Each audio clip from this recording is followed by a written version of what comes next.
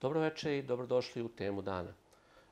Večeras vanredno puštamo temu dana koja bi inače trebala da ide subotom, baš zato što smo obeležili jednu tužnu godišnjicu dana kada je preko 200.000 ljudi, Srba, sa svojih vegovnih ognjišta proterano iz Hrvatske.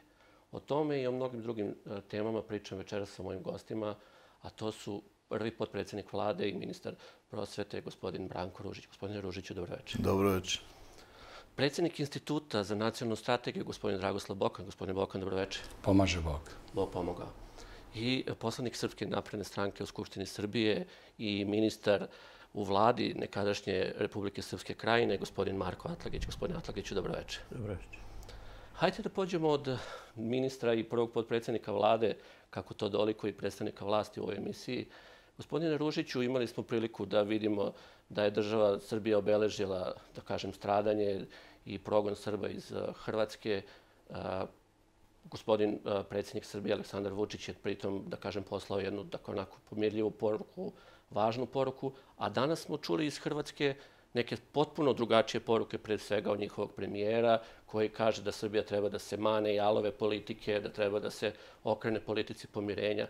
Kako sve to komentarišete? Ja bih rekao da, da pre svega zahvaljujući toj politici koju personifikuje predsjednik Republike i generalno e, ta vladajuća nomenklatura poslednjih 9 ili 10 godina, e, mi uspevamo da zaštitimo ono što je juče bio light motiv, a to je pamćenje. Dakle, e, ne smemo zaboraviti i taj, taj stradalnički, ta stradalnička sudbina našeg naroda, ne samo u Hrvatskoj, nego generalno gledano, mi ne smemo biti u poziciji da se posipamo pepelom. I predsjednik je juče i lepo rekao da ne treba očekivati da će neko nama da se izvinjava. I kada pogledate zašto je upravo fiksirana ta, ta grozomorna vojna akcija Oluja, gde je preko, ja mislim da oko 240.000, 250.000 naših sunarodnika proterano sa svojih ognjišta, da je preko 2000 ubijeno, Zašto je upravo ona fiksirana kao dan njihove takozvane pobede koju proslavljaju u Kninu? Upravo iz razloga što su, kao i uvek kroz istoriju, čini mi se, bez neke uvrede pretrane prema hrvatskom narodu, jer nikada nisam imao manir da delim ljude po nacionalnoj osnovi, nego po tome kakvi su ljudi. Imali su, pre svega, taj politički establishment, jedan, jednu, jednu krizu identiteta i nisu spremni na pomirenje. I to je evidentno. Dakle, ne možete vi da fiksirate taj datum, tu akciju kao dan pobede koju proslavljate, a protrali ste 250.000 nedužnih svojih građana sa svojih ognjišta. E sada, ako pogledamo to kroz prizmu onoga šta je i ko je tu najviše izgubio, rekao bih, rekao bih da je tu najveći gubitnik upravo, upravo Republika Hrvatska. Jer kada pogledate Dalmaciju, Liku, Kordun, to je postala pustoš, nažalost. Veoma je mali broj, oni ljudi koji žive tamo, populacijono oni nisu prisutni. Tamo su doseljeni Hrvati iz raznih drugih krajeva, oni koji su tamo inicijalno živeli su praktično otišli I evidentno je da kada prođete likom vidite samo one vetrogeneratore, na primjer. A nemate, a nemate što drugo da vidite.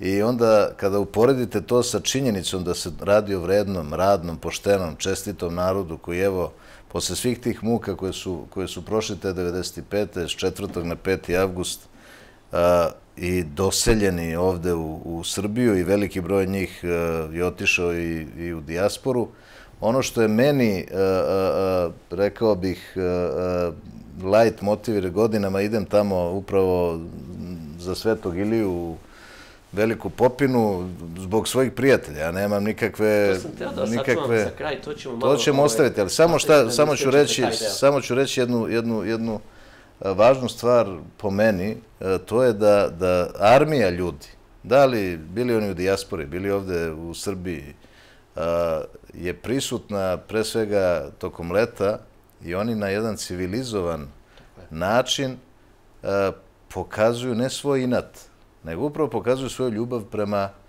prema svom ognjištu i pokazuju da, da je to još uvek njihovo.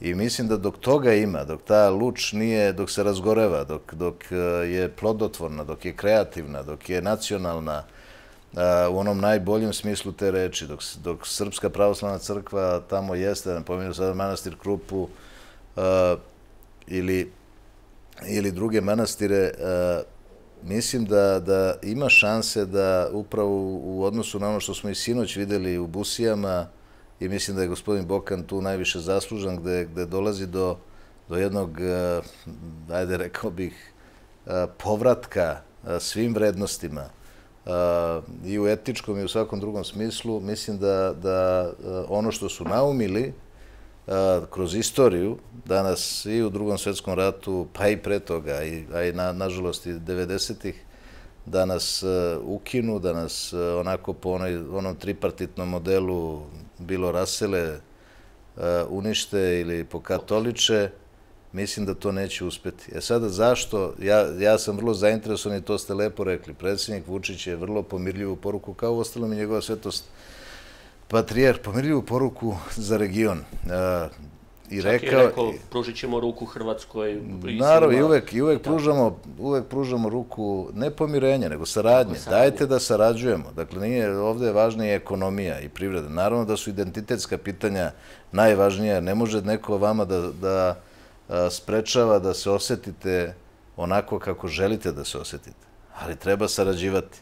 Ali i ono što je rekao, i to je tačno, da mi uvek nekako u njihovoj perspektivi, u njihovoj percepciji štrčimo i dok mi štrčimo, to nekome smeta. Ali mislim da su i predsjednik e, Vučić i predsjednik, odnosno član predsjedništva e, Bosne i Hercegovine, gospodin Dodik, vrlo jasno iskazali nedvosmisleno našu težnju i to je dobro, da nikada ne smemo zaboraviti, da moramo pamtiti podsjetit ću vas da ovakvih, e, ovo je deveta godina, ako se ne varam, da se obeležava e, e, oluja na ovaj prikladan, zaista jedan civilizovan način, ranijih godina toga nije bilo. Dakle, tada je, bilo, tada je bio zaborav. I da kažem, najvećeg krivca za sve ono što smo videli sinoć u Busijama, malo ko zna da je gospodin Bokan ovaj, to i da kažem onako i režirao i sve. Gospodin Bokan, baš zato što ste bili aktivno uključeni ovaj, u svu ceremoniju sinoć koju smo gledali u Busijama, kako vi tumačite poruke iz Busija i poruke iz Knina koje su danas došle? Pa uvek je taj 4. avgust dan sećanja na stradale, dan razmišljanja o tome zašto se sve to dogodilo, trenutak u kome mi pokušavamo da ne zaboravimo ono što se ne sme zaboraviti i još važnije od svega, za mene je to, ako bi alternativno ime jučerašnjem danu dao, je bi rekao to je dan nacionalnog jedinstva. Jer ako se sve dešava po nekom nacionalnom narativu, kako se to sad popularno kaže, naš narativ je, nažalost, po nas, ali on jeste takav da je srpski narod u 20. veku preživeo nekoliko uzastopnih genocida. Nepriznatih, nažalost, i nekažnjenih, još više, nažalost. Jer kad ne kaznite nešto, neko zlo, onda to zlo narasta, znate, to je problem. To, to nacionalno jedinstvo, to je ono što je moguće. Mi ne možemo da se mirimo sa neprijateljem koji ne želi da se miri, koji izgovara tu rečenicu i dan danas da Srbi treba da praktično nestanu. Ne da budu proterani, pobeđeni, ne, ne, nego da nestanu. To je izgovorio predsednik Tuđman u to vreme, neposredno pred, na Brionima, neposredno pred eh, izbijanje te paklene operacije Oluja. Ne volim kažem vojna, ne volim kažem obična operacija. To je stvarno nešto jezivo što reč Oluja je lepa reč, kao vihor ili kao bilo šta. To nije klimatska nepogoda. To je nešto jezivo gde se oni obračunavali sa starcima, ženama i decom sa nevinim civilima, a proslavljaju kao da je reč bilo o pravom sukobu dve vojske u kojoj su oni pobedili. Pošto to nije bilo tako, onda je njihova pompezna priča na nivou vodvilja. Ima nečeg i užasnog u tome, i nenormalnog u tome, ali mi, okupljeni oko našeg stradanja, to je što Makijeveli kaže u najtežim trenucima, treba svi da se skupimo pod zastavu. To je stari savet. I onda im da ga poslušamo. Zastava tog dana je raspeće na kome se može dogoditi vaskrsenje, ali se ne mora dogoditi ako mi nemamo veru. Vera je uslov vaskrsenja. Tako je naša vera jednih u druge, u to da pre svega gledamo tu jedinstvo, jer bez našeg nacionalnog jedinstva mi nećemo moći ništa da uradimo, ne da se odupremo umnoženim neprijateljima, nego mi time e, prosto razjarujemo neprijatelje. Znate, slabost razjaruje neprijatelja. Spremnost na preterani kompromis nije mudrost, ne, nego je to isto put ka tome da neprijatelj vidi vas kao slabe. Mi kad god se izvinjavamo, čak iz najlepše, najbolje, najdivnije namere, oni u tome vide samo našu slabost. Mi kada ćutimo, kad se molimo, kad smo jedni uz druge, kad ne gledamo ko je ko partija i ne znam da li se neko slaže i čak da li nečija lična sudbina u ovom ili ovom trenutku vremena idealna ili nije. Ne, to nikakve veze nema. Trenutak je u tome da se okupimo oko onih koji su nestali. Mi živimo, mi postojimo, dišemo im, naša deca mogu da zagrle svog oca, a u njihovom slučaju ima siročića koji ne mogu da zagrle te oče. Juče smo vidjeli i malog dečaka Nevena sa Korduna koji je ostao bez noge, a koji govori sa tom nekom dečijom, romantičnom čednošću, verujući u dobro među ljudima, radujući se što je došao u Beograd. On kaže, Miline, Miline, Beograd. A onda vidimo, a onda vidimo da nema, tako smo rasporedili to, onda vidimo da nema, da nema nogu. Ja sam mislio da imam cijelu nogu. Samo sam mislio da je već saderana, ona, da ima samo djeliće. Mislio sam da imam cijelu nogu. Da ima samo djelići oni i da je ona sad sva saderana od asfalt. I da onako crna sva od onoga e, baruta to što ostalo. Pa uvatlo se, ko što po ruci ovdje se uvatlo bilo. Evo poznam se malo po prstu ovome. Samo toga ima malo više po ovome. Pa sam osjetio da imam cijelu nogu. Kad sam došao ovdje u bolnicu, onda sam osjetio da imam prse, da ih pomičem. Kod, da imam nogu, ali nevidljivu. A on će dovršiti što su počeli. On će nas da i dalje mrzi, dok nas ne istrebe. Ili vidimo tu nesečnju srpsku učiteljicu koja je molila svoje đake sa kojima je godinama bila. Po imence ih je molila da ne ubiju, čak kako ona kaže da ne zakolju njenog sina Predraga i nije uspela u tome. Ja sam tu padala, govorila nemojte mi sina ubiti, nemojte mi ga ubiti. To su moji đaci bili. Bilo ih je koje sam ja učila. Igore, nemoj mi Predraga zaklati. Miro, nemoj, Dražene, ja sam to vikala. Oni su čutali. Odvali su ga i nisam ga više vidjela. To traje 20 sekundi, ovo traje minut. Čitava priča o stradanju našeg naroda u drugom svjetskom ratu je postavljena da traje minut. Znači, cela priča je tako urađena da ukratko i sažeto pokaže glavnu liniju, a to je da zločin iz drugog svjetskog rata se nastavio, nadovezao ovim zločinom iz 1995. godine i postoji užasna opasnost da se to nastavi i dalje, bez obzira na... Zato kažu ovo je zločin koji traje, tako?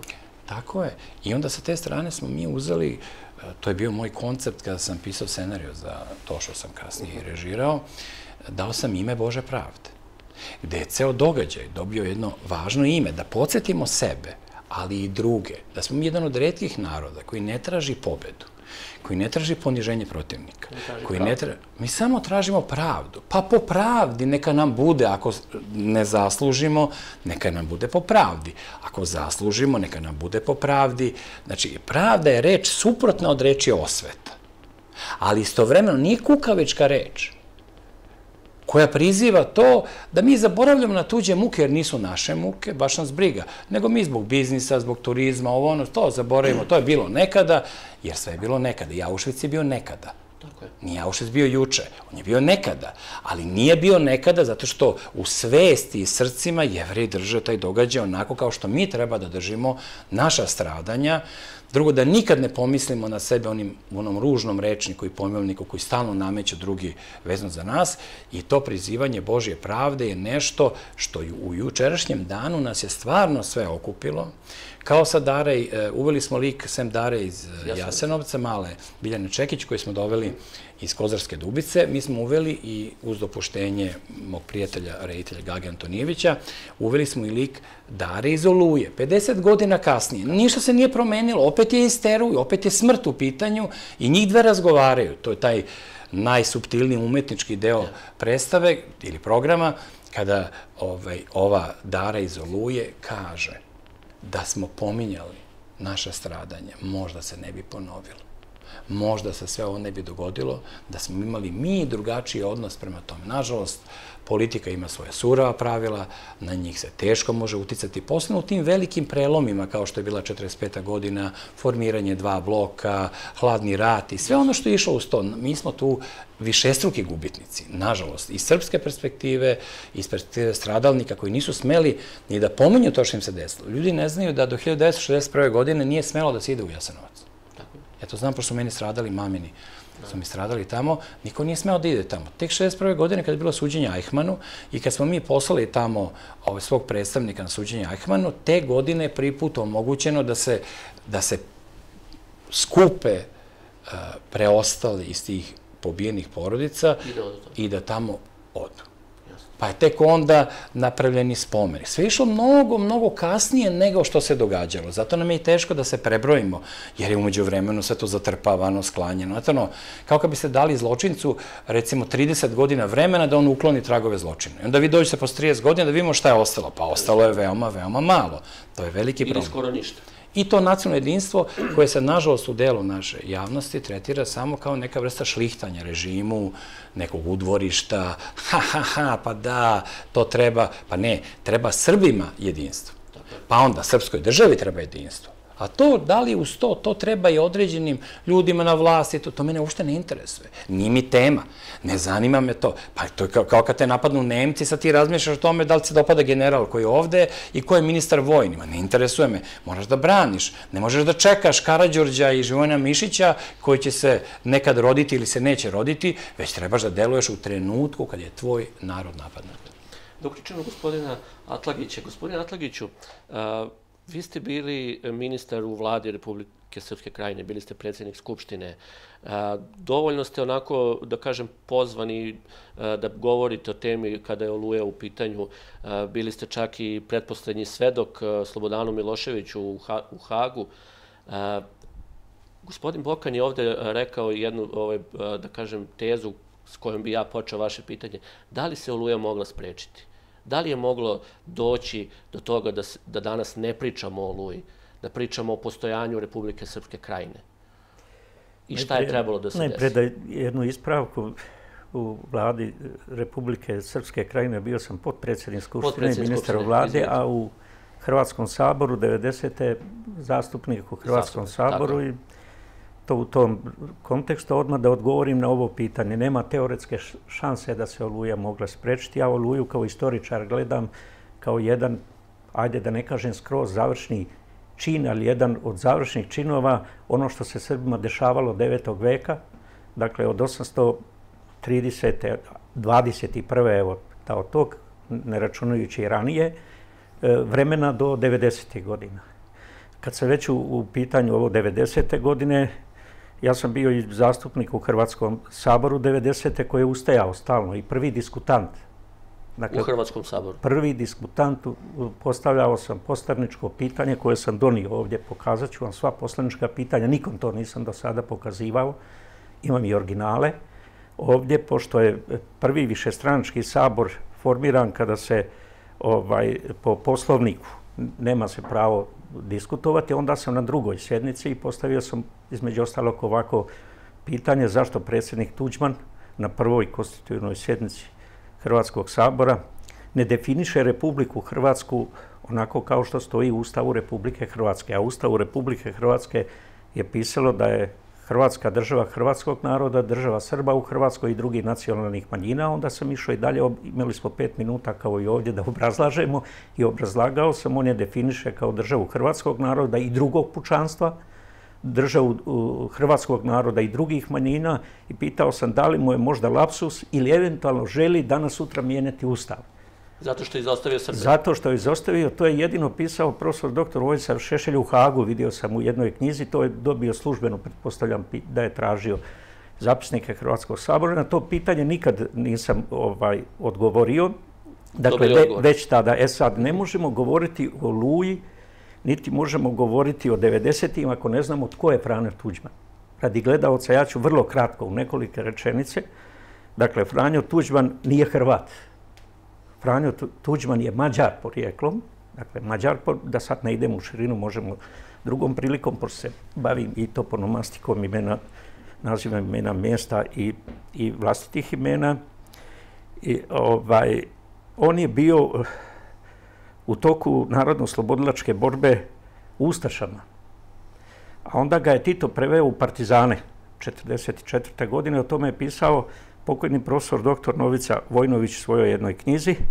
Međutim, posle toga postao je normalno član Saveza komunista i on je kažnjen 63. godine upravo zbog onoga što se desiti 90. Vrlo ću kratko to. Zašto?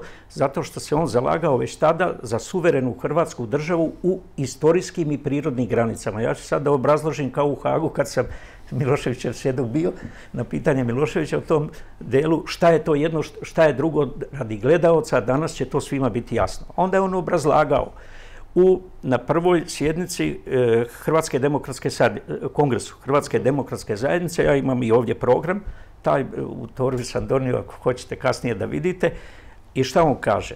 Istorijska, u istorijskim granicama je današnja Avnojska plus jedan deo Srbije, ajde da tako kažem Crne Gore, a u prirodni BH, a Kompletno. Tako je. On je smatrao da centar Hrvatske, on je veliku Hrvatsku, e, centar da bude Banja Luka a ne Zagreb. Sad ću vam obrazložiti to s pozicija struke. Ako ste gledali hrvatski grb koji pogrešno tumače Srbi, ovaj, što pričamo da li je crveno polje prvo to nema nikakve veze sa Ustaškom, ovo je prilika da stručno to obrazložim, pošto sam to 50 godina izučavao. Ovaj, zato što je Tuđman u grbu stavio još gore nego Ustaški grb a to je u kruni grb. Ako ste vidjeli, imate, imate grb Slavonije, grb Dalmacije, grb Dubrovnika i to bože, prvi hrvatski grb, grb polumeseca šestero, šesterokrakom zvezdom. To nije prvi hrvatski grb. To je grb srednjovjekovne Bosne. Jedan od grbova srednjovjekovne Bosne i tačno znam kako je Tuđman ga radio, pošto sam to pisao i učesnik sabora bio kad ga je vraćao. I onda je, da skratim to, e, tvorac toga grba je Riter Vitezović, koji je inače e, Hrvat njemačke krvi. I on je 1683. posjetio Valvasora u Sloveniju, Maloću, da, da ovaj, kažem šire o tome. I onda ga je pitao Valvasor šta za, kako da napravi grb krajinske. Uh A on mu je onda rekao polumesec sa šesterokrakom zvezdom. Zašto vam ovo govori? Zato što Riter podrazumijevao pod tim grbom i lirik, jer Riter u svojoj knjiže, knjižici onoj oživljava Hrvatska govori šta je i lirik. Sve hrvatske zemlje, tada kaže, plus Srbija, plus Bugarska i Grška, a centar je Bosna. I Tuđman, odmah da kažem, pre 90-ih, znao je da je grb Sloven, Slovenija nije imala grba, nego je imala Krajinska i prilikom stvaranja jedinstvene države Jugoslavije Slovenci unose grb polumeseca šestarokrako zvedo jer ga je prevario Valvasora i tako je došao u Kraljevinu kod nas. Tuđman, pošto istoričar, znajući, mi smo to i pitali u Saboru dok smo bili tamo, e, kada su napravili e, novi hrvatski grb, šahovsko polje sa onim grbovima takozvanih Hrvatski pokrajina, on je pitao, Jurlina mu je došao predsjednik sindikata u kabinet, ima li nešto što simbolizuje Bosnu i Sloveniju? Kaže, nema napolje. Kasnije su se vratili i to je polumjesec sa šesterokrakom zvezdom. On simbolizuje danas veliku Hrvatsku i Hrvatska se ni danas ne odreče toga. To je suština. Da ima više vremena, ja to tumačim studentima ili negdje kad donosim, pokazujem malo šire i tako dalje. Dakle, imate tu i literaturi već objavljeno. Dakle, to je simbolika velike Hrvatske, ustaške Hrvatske i razlika ovo da skinemo jedno z dnevnog reda. Prvo polje jeste bilo za NDH, belo, belo. ali ono ne simbolizuje ustašku državu. Simbolizuje u poviše šahovnice, ako ste vidjeli u onoj kocki. A komunisti su došli pa to obrisali i stavili zvezdu petokraku. Ne sa Srpom i Čekićom. I greše pojedini danas. I Srbi i Hrvati. Kad kažu komunistička je petokraka. Ona je antifašistička, komunistička, Srpi Čekić ima unutra. Dakle, to je suština kad, i to nas buni. E sada, belo ili crveno, vi imate 600 godina ranije šahovsko polje. Prvi put se javlja u 9. veku. To je prvi hrvatski grb. Čiju priče. Nije prvi hrvatski grb polumesec sa šesterokrakom zvezdom, nego je Tuđman to podmetuo da ne idem sad jeli, u širinu. I sad 90. godina Tuđman je već e, 7-8 godina znao da će, ranije da će biti predsjednik Hrvatske, da će se osamostaliti. Ja ću samo da spominjem jedan datum. 1989. Na diplomatskom koru u Njemačkoj Tuđmana, gle čuda, Tuđmana neko primio na tu konferenciju. I on kaže, ja ću sad citirati, kada ja postanem predsjednik Hrvatske, nejako postanem, tlo u krajini bit će crveno od srpske krvi. Ja imam izvore za to koje sam u Hagu nosio, imam ih ovdje u torbi. To sam to 89. 89. godine. Međutim, ovo kad ste spomenuli, gospodin Bokan, e, definiciju genocida, ja sam pročitao sve što postoji, ajde da kažem, na svijetu o genocidu. I moramo skiniti to s dnevnog reda šta je genocid. Ovo što lupetaju po raznim televizijama, nema žive veze. Genocid se dešava pre rata. Sad ću da obrazložim vrlo kratko. A, a zločini u ratu. Zašto? Jer genocid podrazumeva nameru. Namera se ne dešava u ratu, nek pre rata. Primjer. Pre uh, rata kad je uh, Tuđman rekao 99. godine u predizbornom uh, vreme Edi Murtiću, došao mu u njegov atelijer, kako on kaže, i onda mu rekao, kaže, ja ću učiniti ono što nije učinio ni Stavčević, ni što nije učinio ni Pavelić. 50% Srba će protirati, 50% će ili nestati ili prevesti u, u Hrvate. Znači, ne, to je ta nema namera. tri dela, nego sad dva dela. Da, dakle, vidite, namera jeste da će ih uništiti. Ona, ona mora biti prerata. To je, kad gledate NDH, imam ja zabeleženo jednu 300 takvih izjava hrvačkih zvaničnika, a sad pre 90. imam 160. Prerata 91. kad je počeo zvanično rat, ali ima 90. Na primjer, Stipe Mesić koji je 11. 3. 90. i 90. godine u Gospiću. 10.000 Hrvata kiša pada, što bi narod rekao, iz neba i zemlje. 10.000 kišobrana. I kaže, citiram tačno ovako, kada mi Hrvati dobijemo Hrvatsku državu, svi Srbi staće pod jedan kišobran. To su genocidne namere. To je namera. A ono u ratu, ono je zločin. To je obrađeno u literaturi. Znači, kad se govori i, i o Srebrenici, nikakvog zločina nema. Nek mi neko kaže da je jedan Srbin u Hrvatskoj pre rata 90.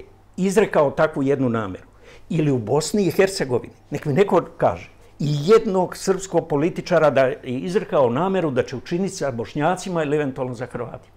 Pa nema toga.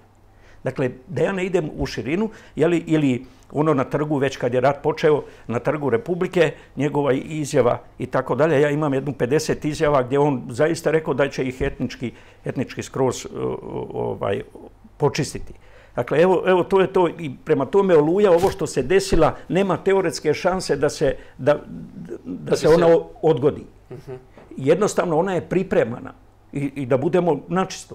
Danas je već jasno, jer to Amerikanci, američki istoričari pišu i njemački istoričari pripremali su Sjedinje američke države i Njemci za Oluju. Moram da vas pitam zato što ste bili i svedok odbrane Slobodanu Miloševiću.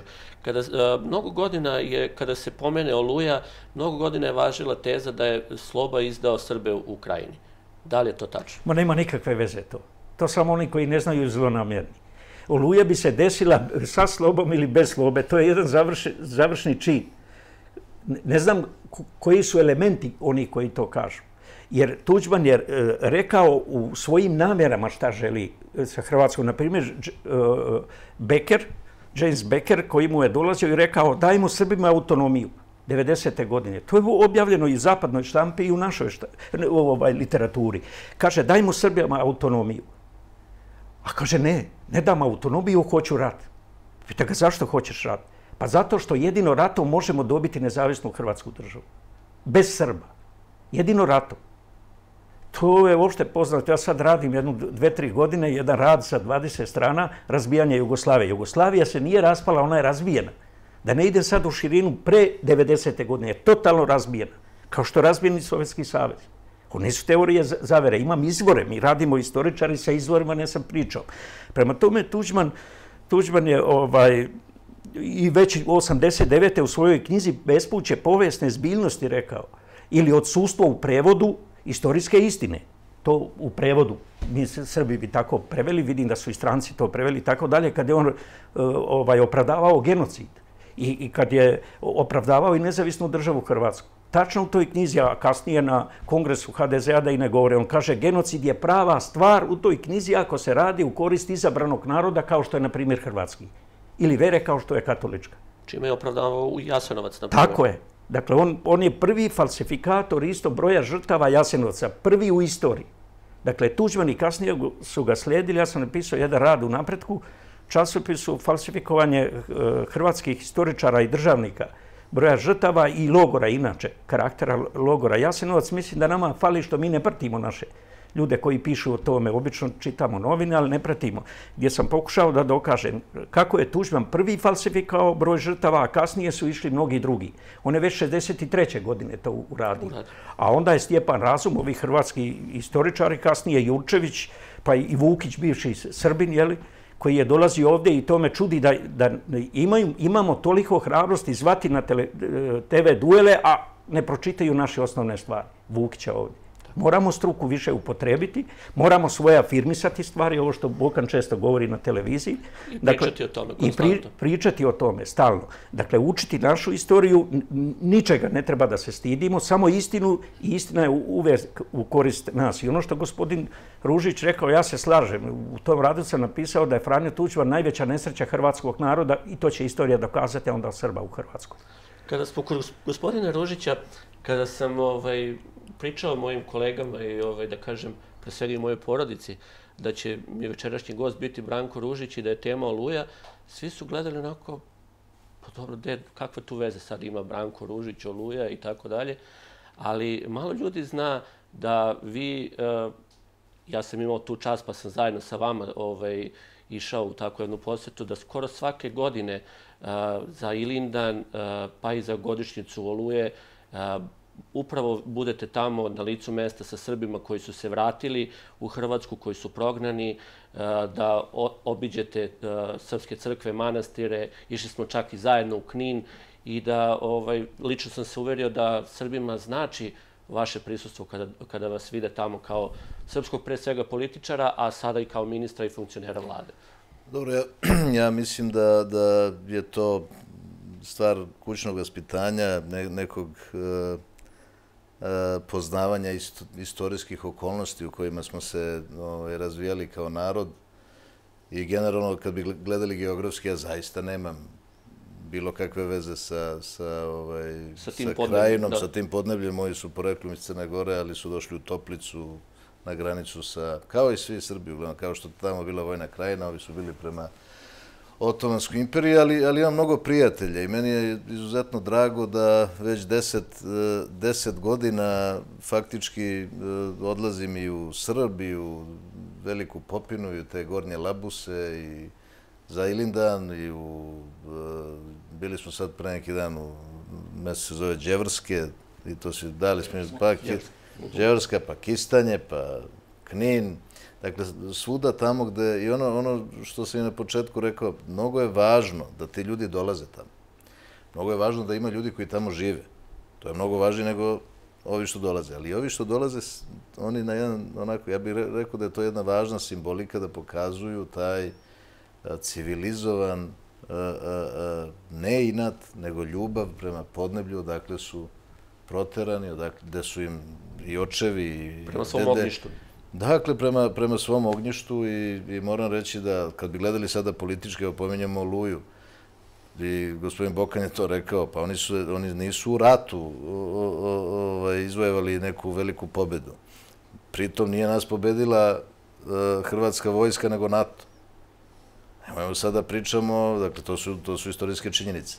Ali je suštinski važno da da ti ljudi, evo, kad odete u Knin, bili smo, i vi ste iz tog kraja, ovaj, bili smo u Kninu, tako, Moja majka iz Lapca, iz Lapca, pre 3-4 godine. Videli ste da tamo Srbi žive, da Srbi e, rade, da imaju neke kafiće, restorane, bave se bilo poljoprivredom, stočarstvom, ne u Kninu, ali ajde više, više u Lici. A, ali opet, e, rekao bih da, da je najveća, najveći gubitnici svega toga jesu, jesu upravo Hrvati, odnosno taj, ajde reći ću, establishment i ono, ono gde je konstrukcijona greška kod njih. Ne sada, nego kroz istoriju. Oni fiksiraju totalno pogrešnu, pogrešan aksijom kao nešto na čemu grade svoj identitet. Umesto da, da posegnu za time, da se mire, ne moraju da se izvinjavaju. Dakle, mi ako uvek mi nudimo ruku pomirenja, ali ne smemo pokazivati slabost, ja se u tome u potpunosti slažem. Pomirenje, saradnja, ekonomija, privreda, razvoj, štrčimo. Pa naravno da štrčimo. Najveći smo. Jel to smeta nekome? Smeta, ali mi opet hoćemo da napravimo evo, ovaj takozvani mali Schengen ili sada kako se zove otvoreni Opet Balkan. Balkan. Otvoreni Balkan, dakle, pa ko je, ko je tu inicijativu ovaj, potegao? Zašto to smeta sad? Da li je to, na primjer, u, u, u sukobu sa berlinskim procesom? Ne, ako pitate Nemce, oni će kažu da, jest. Pa nije. Možemo mi da, to je Milošević radio u, u vreme pre, pre, ovaj, pre Dejtonskog sporazuma, kad je želeo takođe da objedini uh, region i to uvek zasmeta. Ali mi, po meni, uh, smatram da, da je odgovoran odnos prema naš, našem prosto identitetu, prema istoriji, prema nekim činjenicama, da baštinimo sve ono što je istina. Nismo ni mi bili sjajni, odnosno neki naši sunarodnici, i to, i to je istina. I nikada od toga nećemo bežati. Ali ne može sada neki Insko, na primjer, da dođe tamo, odlazi iz, iz ovaj, Sarajeva, imao je 8 godina koliko je bio tamo, po 20-30 hiljada evra a, mesečno platu i sad on je doneo neki ukaz po kome je oktroisao ne znam šta, da smo mi... Zakon. Mi, mi smo sada, mi smo sada, šta sad, ako kažemo da, da nismo genocidna tvorevina, treba da idemo u zatvor. Pa ajmo svi onda da idemo u zatvor. Ovo je 21. vek. Dakle, to, to je nešto što, što je nedopustivo, ali to je po, današnja politika, koja, ako poredimo sa onim što smo juče gledali, je u stvari samo imitacija raznih istorijskih a, okolnosti iz nekog prethodnog perioda. I ono što je važno za naš narod, a, u svu želju da budemo a, naravno i vrlo tolerantni i saradljivi i da važno je da, da ne prepustimo stvari slučaju, da, da ne dozvolimo da da a, zaboravimo na ono što se, što se dešavalo. A ove, ove moje, da kažem, ono što ste me pitali, šta je moja konekcija, meni je mnogo drago zaista te divne ljude tamo posetim, vidim, obiđemo i svaku crkvu i svaki manastir, popričamo a, i oni su, i oni koji žive tamo, veoma, veoma, a, rekao bih, energični, puni energije. Ja, evo, na Kninskoj tvrđavi, ne znam, smo bili zajedno tada. Zajedno smo bili. Jeste, ali evo, ju- prekjuče, kad sam bio, i tamo i dalje stoji ona, ona ploča, ovde je bio, ne znam, zatvor, a, za vreme kapetana Dragana, gde su, što je laž, to je laž. I sada, I sad oni dolaze tamo, naravno, Hrvatska vojska, oni spremaju to za taj, kad su pravili juče, danas, nije ni bitno. Mi gledamo, ja, oni uglavnom vide ko je došao, ali suštinski niko, niko se tu... Mislim da, da običan narod, običan narod u Hrvatskoj, uopšte nije tome toliko posvećen. Da, Ako, da je sme, medijska... ako bi dozvolite da jednu anegdotu ove, šta je vas začudilo i mene ovaj, u Kninu što smo videli, a to je po, po prvi put smo u Kninu videli grafit Hajduka iz Splita. Tako je. Nikada do sada, to je uvek bila Zvezda ili Partizan, Ne, više bila je zvezda, uglavnom, da- uglavnom, bila je nažalost, nažalost, na, Da. na vašu sreću, Da. ali, ovaj, ali uglavnom bilo, pa jest, i to, i, i to je, i to je ovaj, čudnovato. Ali mislim da, da ono, ono što je jučerašnja, sinoćna poruka bila, uh, uh, to je naš odgovor na sve te nedaće činjenica da postojimo. I činjenica da, da nas ima svuda, da smo, dali smo u dijaspori, dali smo sada ovde u Beogradu ili raseljeni, kada govorim mi, mislim na naše sunarodnike iz krajine ili u Vojvodini, ali smo tu. I, i Republika Srpska je takođe jedan, jedan veliki poduhvat upravo i te politike koju smo vodili u tim veoma nezgodnim okolnostima i ovo što je profesor Atlagić rekao, dakle, kakav Slobodan Milošević i kakva izdaja i kakav, dakle, plan Z4, oni će svi, sada će falsifikovanjem istorije da dođe, i to se već radi godinama. Kada emotivno, znači, Srbi će da kažu da Sloba je izdao Srbe, Srbe u Hrvatskoj, to nije tačno. To nije tačno, nisam ja sad savremenik. Ja sam savremenik kada sam bio mali, klinac sam bio, dakle šta sam, studirao sam tada, ali to, to nije tačno. To nije tačno. I mi ne, mi ne smemo da se posipamo pepelom. Slobodno, Mogu samo izvini, da, pošto je Bokana izvini, da se nadoveže na, na ovaj deo. Ovo da se kaže za Z4 i za pregovore. Tuđman je sam to rekao u svojoj onoj izjavi. Moglo je i bez rata, ali ne bi dobili nezavisnost Hrvatske, mi smo željeli rat. Zato smo iza naših pregovaranja, političkih pregovaranja, naoružavali naše postrojbe, znači, kaže Tuđman, da nismo vodili rat, ne bi dobili nezavisnost Hrvatske. To je suština. I zato Beker, kad mu je dolazio već 1991. godine i rekao ostupi od opcije rata, kaže ne, neće mi Srbi dati nezavisnost, istirao ga, nemoj mi dolaziti više sa tim pitanjima. To je Tuđman rekao. Dakle, Z4 nikada nisu Hrvati prihvatili, nego su samo vršili pregovore, oni su željeli ono etničko čišćenje. To je suština, zapravo genocid. I tu nema dileme. Ja mislim da mi grešimo, mi moramo ne, ne da kažemo operacija Oluja. Oluja nije nikakva operacija, završni čin genocida, uništenja.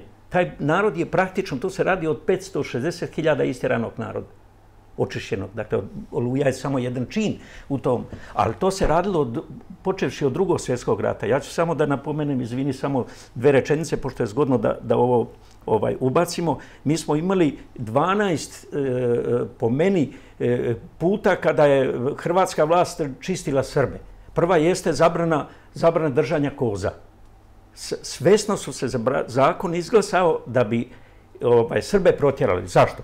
Zato što se držali koze u Lici i Dalmaciji i od tog je narod preživljavao. I morali su da onda idu po Slavoniji, po jedan deo čak u Slavoniju, a istočno, a drugi deo u Vojvodinu i u Srbiju. Kasnije, pravite analizu, sve poligoni JNA koji su napravljeni od 45. do 90. na srpskim oštinama, i zbog toga su išli. Pa onda e, jezera umjetna. Dakle, da dalje ne nabrajam, to se radilo kontinuirano i završni čin jeste ova operacija operacija Oluja koju nije Hrvatska samo pripremala. Sjedinje američke države i Njemačka. To pišu njemački istoričari. I ni, nikakve e, Hrvati nisu upotrebili ne, nekakve oružane, što oni kažu, postrojbe. Pa to je NATO pakt i Ujedinjene nacije. Znate ko je na, nas izdao? Ujedinjene nacije. Mi smo bili pod Ujedinjenim nacijama do 1995. godine. Ja njima nikad neću da verujem. Je to. Jeste, jer kad smo razgovarali, oni nama kažu, nismo mi došli da vas brani od Hrvata, da posredujemo mir. Nikad oni nas neće braniti na Kosovo ako se mi sami ne branimo. To je suština. Mi smo verovali u jedinim nacijama, a Amerika je radila mimo Ujedinjenih nacija i Njemačka kao što su zamjenika ovog Irska doveli sada Šmita. To je suština. Jeli, izvini, Bokan. Da. Gospodin Bokan, a, u svom prethodnom izlaganju ste pominjali da je vrlo važno ovaj, istaći to jedinstvo Srba i jedinstvo srpskog naroda. A, kako onda komentarišete to da evo danas toliko da kažem decenija nakon Oluje ovaj i godina nakon svega što smo doživeli imamo u Srbiji ljude koji otvoreno kažu da je Republika Srpska genocidna tvorevina, e, da je za Oluju kriv Milošević, da je čak navodno, postoji ta teorija zavre, evo Vesna Pešić je konkretno juče izjavila da je to bio Miloševićev plan da se Srbi iz krajine presele na Kosovo i da se onda reši problem Kosova. E, kako to komentarišete? E, stiče se utisak da ni u Srbiji nema dovoljno tog jedinstva. Pomenuo je gospodin uh, Atlagić i sad ispričao Z4. Naprimjer, Vuk Drašković cijelu svoju političku karijeru priča da je najveća greška Srba u Hrvatskoj što nije prihvaćen Z4 plan. Kako komentarišete i može li se tada pričati? Svako nas je ovdje da sa svoje strane rasvetli stvari onim gledalcima kojima će to biti važno. Tako Mi nikog ne može nataramo da sluša ovo što mi pričamo, možda promeni program, da kaže dosadno ili bilo što. Znači, mi moramo sad ovde svako iz svog ugla. Znači, sve je suštinsko i ništa nije suštinsko. To će oceniti gledalac. Ovde je važno, pre svega, shvatiti značaj društveno, društveni značaj nevladinog sektora. Nevladin sektor diktira atmosferu u društvu. Nasuprot tome, ljudi često spontano se o tome odupiru. Mi imamo ovde primer da mnogi mladi ljudi, gimnazijalci i još mlađi, imaju neki spontani osjećaj značaja Srbije, srpstva. I oni viču to Srbija, srpstvo, plaču na Pukni Zoro, slušaju dogodine u Prizrenu, čak i Beogradski sindikat i mnoge druge grupe, 357, Kosova i Srbija ostale oni na svoj moderni jezik, svojim muzičkim, e, muzičkoj dimenziji, govore one stare poruke Njegoševske, Rakićevske, Šantićevske. To. Znači, to se dešava spontano, ali ne dešava se organizovano. Država često to ne može. Neki put neće, imali smo i takve primere, ali neki put ne može, jer kad ste pritisnuti, ne može se ponašate popuno slobodno. Za razliku od nas iz nevladinog sektora, pošto ja imam isto jednu nevladinu organizaciju, moj institut za nacionalnu strategiju, mi imamo priliku, ako dobijemo podršku države, pošto mi nismo, mi smo nevladini, ali nismo antidržavni, antisrpski sektor, ta ta podrška i pomoć, nažalost, često odsustuje. A zašto je važna ta pomoć? Pa zato što mi možemo da kreiramo taj narativ, opet ta famozna reč, koji ljude usmerava u pravom pravcu. Znate, no, ako vi gledate, recimo, neki pejzaž, i ako nekom ne pokažete u kom pravcu je najbolje da vidi nešto što treba da vidi, on neće moći da nađe, treba mu ne znam koliko vremena da se snađe u tome. Znači, mi dobijamo pogrešne reči, slike i pojmove vezane za takozvanu oluju. Znači, mi ne vidimo zlo, pakleno zlo, koje od ozgo nasreće i svako dete koje zaostane, svaki kuca koji ostane tamo vezano, pače stoke, svaki starac koji ne krene dovoljno, je mrtav u susretu sa njihovim nabildovanim, napumpanim vojnicima u novim američkim uniformama koji se kasnije hvale time da li su ubili 3, 5 ili 9 staraca. Znači, to je zlo. A šta mi radimo? Puštamo da simboli budu traktor, traktor, onda ta reč, neutralna reč, oluja, da mi čak ne dodajemo paklena oluja, ne, nego ostavljamo oluja. Iste njihove psihopatske priče. Znali znate da je oluja bila deo troslova. Bljesak, oluja, grom. Grom je trebao da bude vezan za zapadni srem. Pa je Erdutskim sporazumom to sklonio. Znate zašto? Pa Bog. Bljesak B, oluja O i grom G. Oni su psihopatski upleli bo, ime Boga ubijanje civila. Ubijanje civila. Znači, reč je o zlu. I to je ono što je suština. Mi moramo da govorimo o zlu, da čujemo jauk, da vidimo dete bez noge, da vidimo učiteljicu koju su zaklali njeni đaci, zaklali njenog sina, iako ih je ona preklinjala to da ne urade. Da osetimo to zlo koje izvire iz toga. Ne različitost u odnosu nas, ne neprijateljstvo, protivništvo, neslaganje, ne, ne, ne, zlo čisto zlo. Kad neko ubija dete, to je zlo. To ne možda nazovemo drugačijim načinom mišljenja. I to je ono što sam ja juče pokušao, kogod sam mogao, da to vidimo, da čujemo reči iz stihove Save Mrkalja koji govori o tom zlu koje nas peče u pameti, koje traje, koje će trajati i pita da li će biti, u prevodu na prozu, da li će biti jedan trenutak da se odmorimo od zla. On to kaže 1825. godine. Znači, zlo je u pitanju i oni koji prihvataju zlo. Znate šta je problem? Mi često kažemo, pa kako narod može da bude lažov ili zao? Pa može ako preuzme zlo. Pa nemački narod je plemenit, ozbiljan, radan, ali kad preuzme nacističke, indo, in, nacističku indoktrinaciju, on postaje kao crveni kmeri, pa još gori od toga deset puta. Znači, ako vi prihvatite laž, vi postajete lažovi.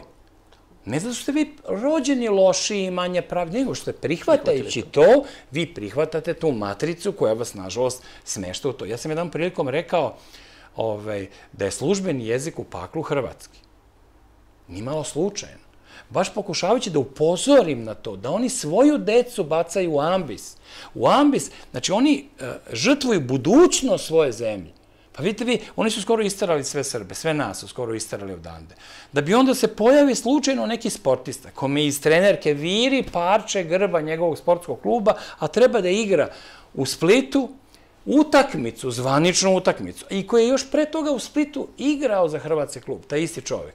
Oni čim to vide, kreće ekipa automatski sa šipkama, napad na njega, on se baca u vodu i ponaša se Pričamo o crnogorskom da je- vaterpolisti. Pa da, o tom nesrećnom vaterpolisti koji se proglasio crnogorcem da bi se izvukao iz toga, ali govorimo o tome da, znači, njima nije dovoljna pobeda.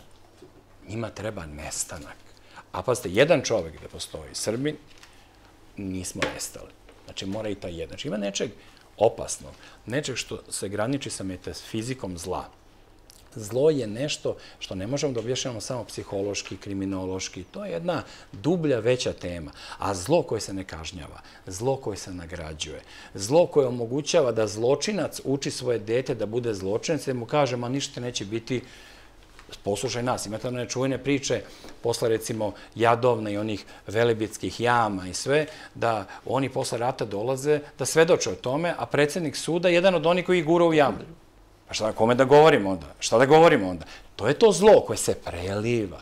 Onda mi moramo, što se toga tiče, da imali budemo... smo, izvinjavam se što vas prekidam, imali smo danas priliku da vidimo u Kninu uh, ovaj, dosta uh, roditelja koji su svoje decu doveli u uniforme Ustaša, uh, crno, u crnim košuljama. To se sa- nastavlja. To To se problem, nastavlja. nastavlja. Ali ja samo kažem, juče sam pokušao da slike zla, slike stradanja nevinih, svedenih na decu, da ne bi se sporili oko toga da li je, ne znam, šta bilo. Ne, ne, ne, to sa decom ne može se opravdava nikakvim događajima, ni politikom. To je nešto jezivo. Znači, te slike mi moramo da ljudima puštamo. One su bile zabranjene dugo vremena. Ja zato moram da kažem da sam bio e, veoma prijatno iznenađen i ohrabren kad je predsednik Srbije dopustio da to što smo izmontirali, te slike koji su delom iz filma, iz filma Kordun, Zemlja bez ljudi, gde moj brat od ujaka, Petar Vujanić, je radio taj film, pa smo zajedno montirali te delove, ubacivali, pokušavajući da u što kraćem vremenu, da ne bi izazvali onaj kontraefekat, dođemo do one tanke crvene linije, da ljudi osete o čemu je reč, da osete kakva je strahota. Da bude To- emocija I ne samo to kao stradali su krajišnici, pa nisu stradali krajišnici, stradali su Srbi, i stradali su ljudi, i stradala je deca. Ako nas boli ona slika onog izbeglice tamo na obali Turske, onog dečaka koji je pao mrtav i koji izgleda kao lut- lutka uh, u pesku i svi smo plakali na toj slici, pa kako možda nas ne interesuje slika našeg deteta za kojim nema niko drugi da plače preko neke agencije. Znači, mi moramo da se saberemo i da ozbiljno te slike pogledamo, te zvukove poslušamo, čujemo tu rečenicu Tuđmanovu, čujemo, ne pročitamo, čujemo kada on kaže da Srbi treba da praktično nestanu. I to čujemo, to je u programu. I osetimo taj bol te dece, tih majki i to veliko zlo. To je naš zadatak, da te slike mi damo našem narodu, ne zato da bi on nekog mrzeo ili da bi nekog učinili da bude borbeniji nego što jeste ili osetljiviji, nego da kažemo istinu. Istina oslobađa. Bez istine ništa nećemo uraditi. Jer ako mi izbegavamo istinu iz nekog razloga, psihološkog, političkog, da li je- a oni izbe, izvini, izbegavaju istinu iz razloga njihove laži, otvorene laži, onda ćemo svi da lažemo. Oni lažu na jedan način, mi ćemo da lažemo na drugi način i glumit ćemo kao u carevom novom modelu. Ako mi glumimo da imamo neku odeću i da govorimo istinu, a ne govorimo istinu, onda je neophodno da malo po malo neko kao ono dete iz te bajke kaže car je go. A to znači odbacimo laž, pustimo istini da nešto progovori i u tom smislu sam ja osjećao i ponos što sam mogao i dobio dozvolu ne samo da režiram, pišem scenariju, nego da pustim te slike, da ih pustim i da one polete kod milion Srba od Banja Luke, preko Bara, Podgorice, do Beograda, preko svih drugih gradova naše otačbine, koji nije naravno preprečena granicama. Otačbina je jedan potpuno drugi i viši pojam. I te slike da osjeti, jer te suze koje nas spaje, one su najjači, najjače utvrđenje naše budućnosti. Suze koje nas spaju. A juče je bilo ljudi, i to vrlo ozbiljnih ljudi, koji su plakali, a nije im to manjer, jer nisu mogli da izdrže mirno gledajući nešto što je stra... jer je zlo u pitanju. To zlo, juče u predstavi je ove, izgovarao moj mali šestogodišnji sin, Leonida, koji je bio na sceni sa onom ikonicom, danas je u večernjim novostima stavljen na naslovnu stranu, možda zato što ne znaju da je to moje dete, ali ajde recimo da kažemo da je to normalno išlo. Znači imamo to čudno dvojstvo. Predsednik Srbije me poziva da to režiram i pišem scenarij, dopušta to, a s druge strane RTS ne potpiše, ne mene što ne potpiše, nego ne potpiše ekipu, ne potpiše ljude koji su danima i danima ulagali trud, talenat, pevali, govorili, besedili, radili, to se sve izbriše u jednoj rečenici kao da ništa nije bilo. A imamo najgluplje TV drame koje ne gleda hiljadu ljudi koji imaju ono špicu od tri minuta koje objašnjava stvari koje nikog ne interesuje. Nego ljudi, tako su ljudi zbunjeni, kao da je to proizveo neko na Marsu, pa nama dao i mi to pustili. A da li je baš u tom duhu kome sada govorite upravo i ova inicijativa koja je i potekla i od predsjednika Srbije i od gospodina Ružića, da država već jednom stane i da iza a, učbenika istorije, geografije, da kaže da se zna šta, šta učimo, a ne ovako da bude jedan javašluk. Ne, važan je samo taj ozbiljan odnos. Znate, ono, kad u jednom trenutku ljudi kažu, ok, šta je bilo, bilo je, podlačemo crtu i od sad više nema zezanja. Znači, to je ono što naš narod očekuje. A ne da mi sad kažu šta je bilo pre dva meseca, 12 godina, to nas ne interesuje. Interesuje nas da od sutra bude bolje. Interesuje nas da nevladine organizacije, patriotske, imaju uslove i mogućnosti da deluju. Ja sam uradio besplatno, ceo moj program i samo moj trud. Iz milion razloga. Ali hoću da kažem da nešto u životu moramo i da radimo, da dobijemo podršku. Ne samo ako kad se sretnemo tako negde, nego stvarno neku podršku i da država usmerava kroz one ljude koji kao klin, kao laser, umeju da udenu emociju, objašnjenje onoga što se desilo. Pazite, najbolje objašnjenje je kad vi pustite da ljudi sami zaključe. Tako je. Ne da ja kažem u programu te Hrvati su ovo, usred, ne, ne, ne, nego da vidimo tu nekadašnju decu, poslednju generaciju dece iz Jasenovca koji su sad starci od 90 godina i koji će vjerojatno pomrti uskoro, da se oni pojave pred svima nama, da se poklone pred svima nama i da se mi aplauzom poklonimo pred njima. Da osetimo njih, tu dečicu koji su sad starci, ali svako od njih je u Jasenovcu bio otet od majke ubijane su mu braća, sestre, očevi su svima pobijeni od reda, njima tamo po Kozari i drugde. Znači, da vidimo te mučenike koji dalje stoje, oni postoje i oni su nešto što nas treba da okuplja. To nacionalno jedinstvo, to usmeravanje pravih slika, pravih zvukova, da zaboravimo na traktore na neko vreme. Ne, nisu važni traktori veličanstvene kada je dečak vozi traktor bi nekog tako. spasio. Ali, mora, ali ne smemo da zaboravimo priču o zlu. Znači, nije reč o tome da je neko pobegao, da je neko tražio možda lakši put ili da spasi život. To je sve jedna, nego zlo je naišlo. Zlo! Kao kad izveštavamo i govorimo o Hitlerovom napadu na Rusiju ili napadu na, na bivšu Jugoslaviju ili napadu, to vi osjećate iza tih tenkova, iza oružja, artiljerije, vi osjećate kako dahće zlo. I to kreće. I sukobiti se sa zlom nije jednostavno. I tu morate da imate protiv otrov. Taj protiv otrov je važan, te vakcine istine, a one moraju da budu urađene preko ljudi koji to znaju da urade. Mi možda, ja možda ne umem da popunim tendere na način koji je savršen i koji donosi ten, pobedu na tenderu. Nismo svi za sve stvoreni. Ali možda ideja u tome da malo onako manje formalno, manje birokratski, više bratski, krenemo ono što je recimo juče na neki način stvarno pokazano, to da je dopušteno da se vide teške slike. Slike koje izazivaju suze, ne povraćanje. Suze izazivaju. Jer ne da gledamo, imamo suze na svu moguću decu na svetu, sem za našu decu. Kad vidimo našu decu, onda čujemo ljudi koji kažu ja to ne mogu da gledam. Znači kada to ne možeš da gledaš? Gledaš horror film, gledaš. Ili gledaš stradanje izbeglica ili stradanje u drugom svetskom ratu ili stradanje jevreja, sve to gledaš. Samo kad je reč o srpskom stradanju, onda se kaže kao, pa ne znam, meni je tako neprijatno to da gledam. A zamisli da si to doživao. Tebi je teško da gledaš, a zamisli da te neko sekao. Pa zamislimo samo da idemo kod zubara, bez anestezije. A ne da idemo pod nož, da nas kolje. Pre nego što uh, gospodin Atlagić nam pokaže ove dokumente, samo uh, kratko da pitamo gospodina Ružića. Gospodine Ružiću, kada ćemo konačno dobiti te uh, istorijske učbenike iza koje stoji država? Dakle, tu se radi o, o identitetskim takozvanim učbenicima i mislim da je inicijativa i predsjednika Republike koja je, ako se ne varam, pokrenuta još u martu mesecu, e, na neki način ne samo dobrodošla, nego toplo dočekana ne samo u Srbiji, nego, nego e, svuda tamo gde, gde nam je otačbina, ovo što kaže, što kaže gospodin Bokan. I ministarstvo je formiralo i radnu grupu, mi smo napravili jedan nacrt e, zakona i ostalo još da napravimo dalje konsultacije sa kabinetom predsjednika, kabinetom e, premijerke. Moram da podsjetim da e, je to jedna, jedna suština, jedna, jedna srž očuvanja našeg identiteta, ideja da, da javni izdavač, dakle u državnom vlasništvu bude izdavač tih knjiga je nešto što je valjda najprirodnije.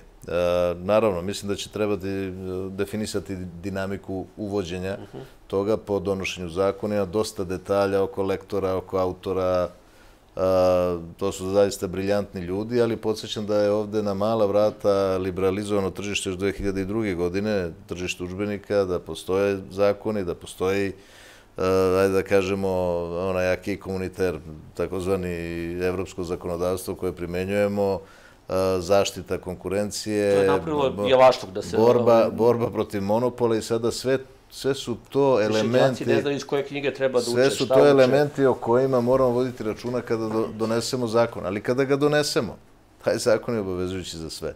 Dakle, niko, niko neće biti ugrožen, a mislim da će to mnogo značiti i mislim da je dobra inicijativa i sa jučerašnjeg sastanka predsednika Vučića i člana predsedništva Dodika, koja ideja nije od juče, dakle ideja je podavno i po pitanju zaštite ćiriličnog pisma, ćirilice, afirmacije toga i odmah će se pojaviti razni koji će reći to je mnogo skupo.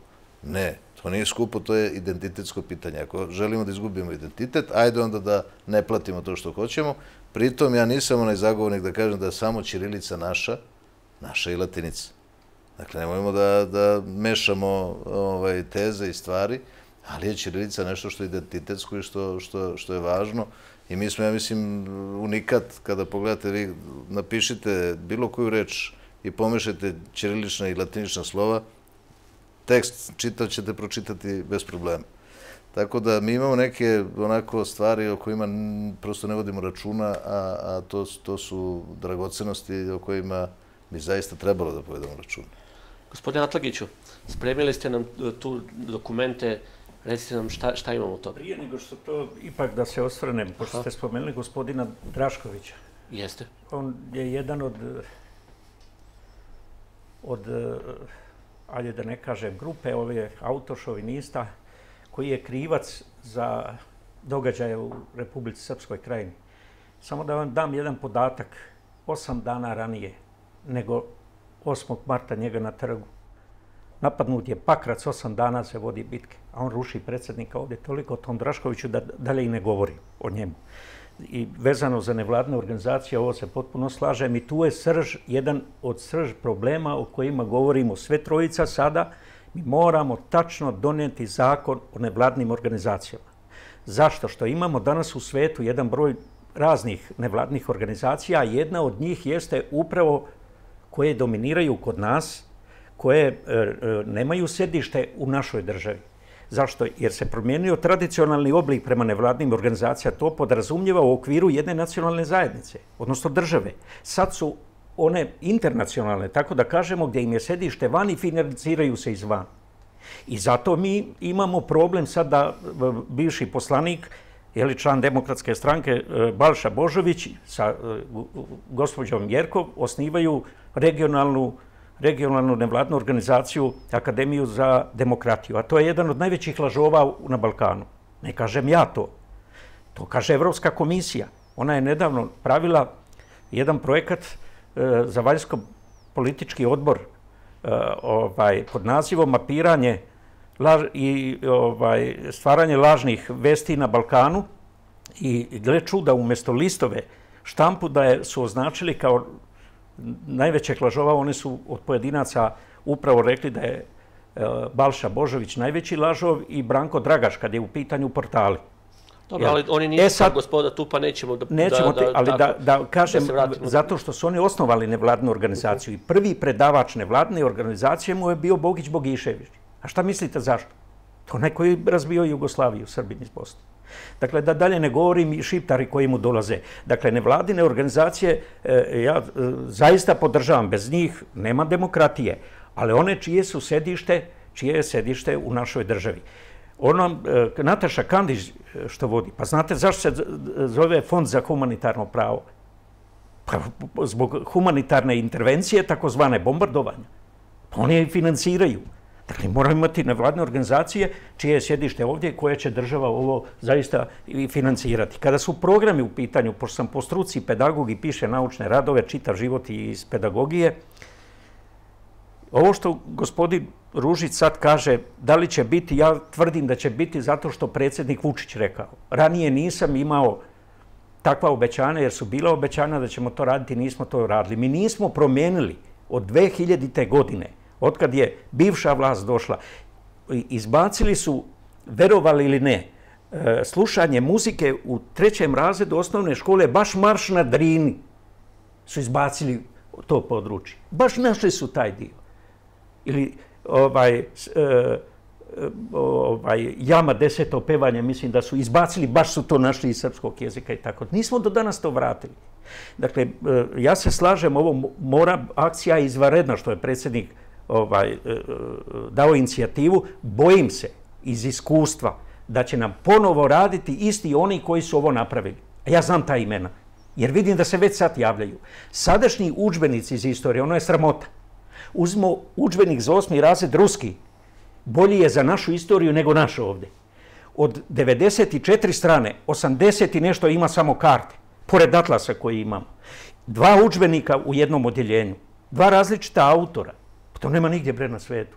Učiteljica u prvom razredu osnovne škole po jednom autoru, a ovaj drugi učenik po drugom, treći po treće. Pa mi smo haos napravili. Znate kada, kada je Gašo Krešanović bio ovo, moram da kažem jer nam je u obrazovanju stanje izuzetno teško po pitanju programa. Mi smo otišli u digitalizaciji daleko, daleko ispred mnogih, ali smo u nekim programima kada je nacionalni predmet su u pitanju na jako niskom stepenu.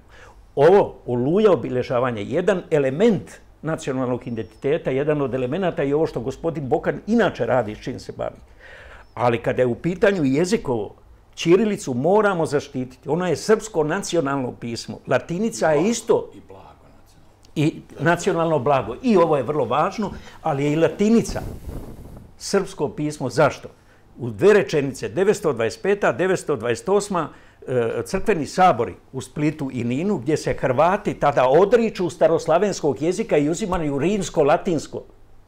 Prema tome, latinica je toliko hrvatska kolika je i srpska, da ne idem u širinu u jezik, nisam jezičar, kao istoričar mogu te stvari da, da kažem. I zaštitit ćemo taj, taj deo. Jačanje nacionalnog identiteta i dobro je sinoć ono prikazano da smo učili možda nima, sigurno bi, ne bi nam se desila oluja. Ja isto tvrdim da nam se ne bi desila. Bez obzira što Hrvati imaju od, desetog, od 820. godine, ja tvrdim da je genocid nad Srbima i drugim narodima. Pa nisu oni samo prema nama, pa prema Česima, prema Njemcima, prema Talijanima. 1849. su izišla je e, ovaj, zapravo su radili tada... Ali gospodine Atlagiću, kažete da smo učili. Evo danas, u, da kažem, u da. 21. veku, 2021. godine, postoje mladi ljudi koji upravo ovo što je gospodin Bokan pričao, koji kažu, ja nisam mogao da gledam Daru iz Jasenovca film. To je mnogo zločina. Oni ne znaju šta je Jasenovac. Ne znaju, ne, ne mogu, kako onda da očekujemo... Sad polako uče, sad polako e, uče, evo, e, imaju priliku. Evo u čemu je problem. Vi u učbenicima sada, aktualnim, u osnovnoj školi, nemate ni jednu rečenicu. Tako je. To je problem. To je problem, a mogli smo, a htjeli smo, ali nismo. Jer su autori, oni koji su uzimali pare, a nisu radili. Ako želimo, ministre, to napraviti, moj je predlog, Imamo mi divnih ljudi, divnih historičara, bez dinara će to napraviti. Ali ja znam da to ne, neće se desiti. Evo, znam, mogo bi garantovati. Jer se sve vrči oko para. Prema tome, tu je problem, pošto to pratim čitavog života. Dosta u pravu da se sve, nažalost, vrti oko para, ali borba oko identiteta jeste, nije samo u parama, nego u strateškoj želji nečijoj, da nas totalno devastira. Tako je. Tako je. U nacionalnom smislu. I zato je važno da, to, da iza toga stoji predsjednik, da mi imamo i ljude si... i autore i, i, i to da li će besplatno ili neće besplatno. Nije to važno. Važno da ih imamo. Stvar je samo da, te, da, da vi u parlamentu, kada mi predložimo zakon, da ga donesemo i da... Mi ćemo da sigurno to usvojiti kad je predsjednik rekao, ali ćemo voditi računa o autorima i recenzentima. Jer sam čuo već interesanata, neki koji su bili autori, a doveli do ovoga. Prema tome, ovaj, e, e, tu, tu se radilo i partijski i od 2000. godine, da ne kažem kako. Da ne kažem kako. Mi imamo predsjednika Srpske akademije koji kaže da, da Kosovo nije naše. Imamo četiri akademika koji to kaže. Imam datume kad su to ovdje izgovorili, pošto piše naučni Pa rad imamo jedan. i ljude u Skupštini Srbije imamo koji i- izađu poslanici i kažu da je Kosovo nezavisna država. Kao što je Sulejman Ugljanin. Pa imate sve osim Aleksandra Vučića. Osim Aleksandra Vučića i Ivice Dačića, koji nisu rekli da Kosovo e, e, ovaj, nije naše, nego je Kosovo srpsko. Svi politički akteri datume ovdje imam, evo, da ima pet minuta vremena, ja vam tačno datume kazao, sve tačno gdje su dogovarali, kako su dogovarali, s kim su razgovarali, gdje su se odricali s Amerikancima, gdje je Tadić, e, Tadić držao zajedno sa Đilasom sastanke i tako dalje. Dakle, nije to sporno. I ovo danas što se dešava je isto po meni koji 99. godine. Potpuno isto. Isti ljudi, isti akteri. Pa ovo što Vuk Jeremić radi. Ali moram tu, uh, tu da radio i- uključim gospodina Ružića, to je i gospodina Bokana. To je zaista jako važno pitanje. Na primjer, kada se piše taj udžbenik u- o, ovaj, istorijski ili i za- Srbiju, za, za školstvo. A, ministre, kako odlučiti ko će da ga piše? Jer, na primjer, evo sada odluči se da gospodin Bokan bude jedan od autora, na primjer. Odmah imamo a, tu da tako zvanu drugu Srbiju uh, hejtersku koja će nazvati gospodina Bokana nacionalistom, nepodobnim za to.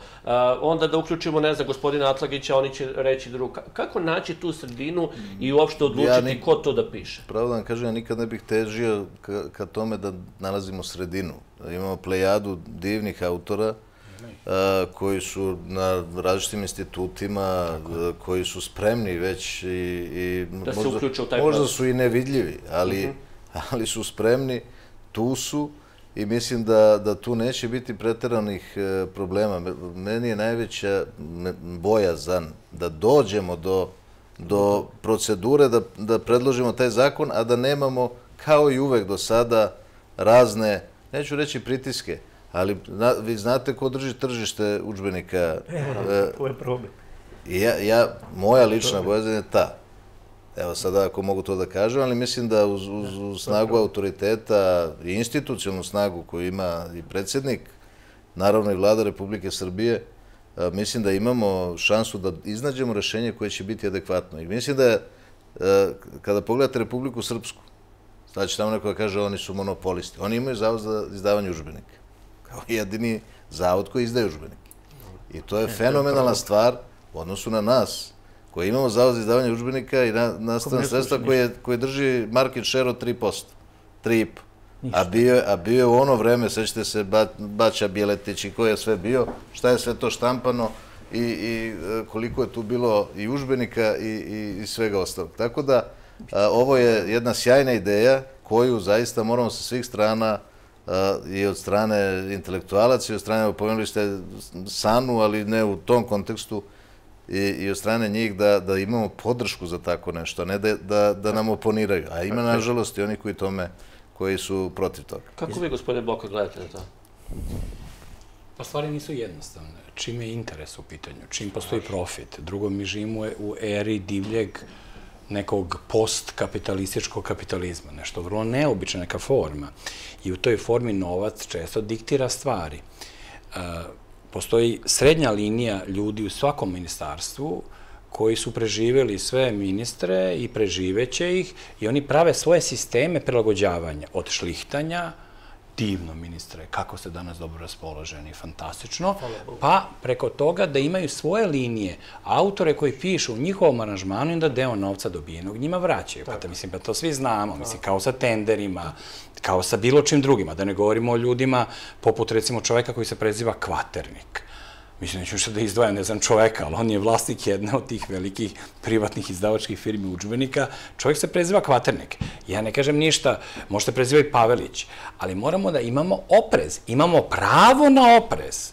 Onu vrstu nepoverenja koju imate na granici. Kad neko dođe i carinik mu kaže, ili imate nešto da prijavite? A on kaže, recimo, nema. Ajmo mi da proverimo ili imate. Tako isto mi treba da imamo jednu veliku carinu pred strancima, posebno iz regije, koji imaju novac, možda i nekakav interes koji nije samo učbenički, nije samo prosvetni i nije samo profitni o, i e, recimo finansijski, već ima i neke druge interese. To je popuno jasno.